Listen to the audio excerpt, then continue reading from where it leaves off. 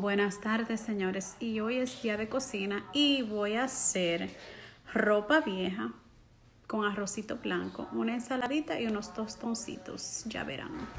Señores, mire, ahí tengo dos boliches.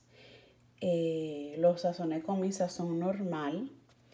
Eh, lo voy a poner en el Ninja Fury en slow cook. Son las 9 de la mañana, señores, pero yo lo sazoné ayer. Lo vamos a poner por 5 horas. A ver, si no ten 5, le ponemos una más. Ok, señores, mire, ya estamos listos para desminuzar la carne. Lo que voy a hacer es que el líquido que botó la carne lo voy a poner aquí en este platito porque lo vamos a utilizar luego. Entonces, déjeme acercarle la cámara, un segundito porque la voy a desminuzar ahí mismo para que puedan ver cómo yo lo hago. Vamos a coger un tenedor, que vamos a buscar otro, porque como está muy caliente, está demasiado caliente todavía. Entonces lo que vamos a hacer es que la vamos a desminuzar con el cubierto. Ok.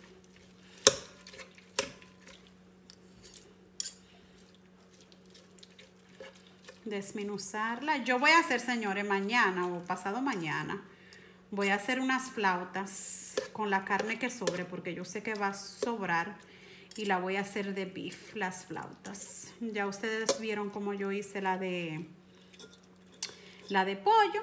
Básicamente la de beef va a ser así mismo. Pueden ver cómo va quedando. Cogen dos tenedores.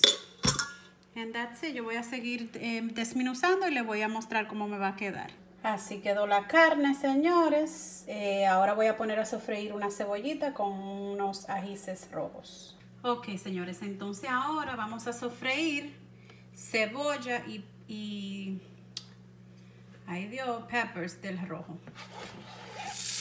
Como que se me olvidó el nombre de pronto. Vamos a sofreírlo. Después que lo sofría, vamos a añadir la carne.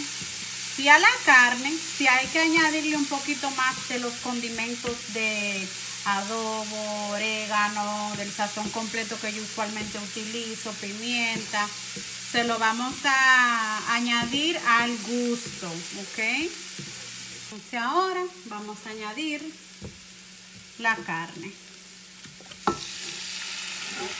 Es bastante, como pueden ver, porque fueron dos bolas que yo hice. Con el propósito de que puedo hacer unas flautas. Puedo hacer unas flautas. Eh, puedo hacer empanadas también. Estaba como un pedacito me quedó como medio que no se desmenuzó bien. Y ya, señores, miren, ahí estamos. Le vamos a agregar salsa de tomate. Y también le vamos a echar más del mismo, de la misma agua que yo saqué. Señores, entonces la probé la carne. Le hace falta como un poquito de adobo. Se lo añadimos. Porque estaba sazonada como vieron. Pero como es tan grande, no lo absorbe bien. Un poquito de paprika le voy a echar, señores. Un poquito de paprika. Vamos a echarle otro poquito de sazón completo. Vamos a echarle otro poquito de pimienta. Lo único que no le voy a echar ajo porque ajo tenía suficiente. Y también le vamos a echar un poquito de adobo de orégano en polvo. También otro poquito de sal no mucha. Así está bien. Y vamos a mezclar todo. Y después le voy a echar otro poquito de líquido de la carne y le vamos a echar la salsa de tomate. Aquí está el líquido que yo no lo boté le vamos a echar un buen poco Y ahora le vamos a echar la salsa de tomate.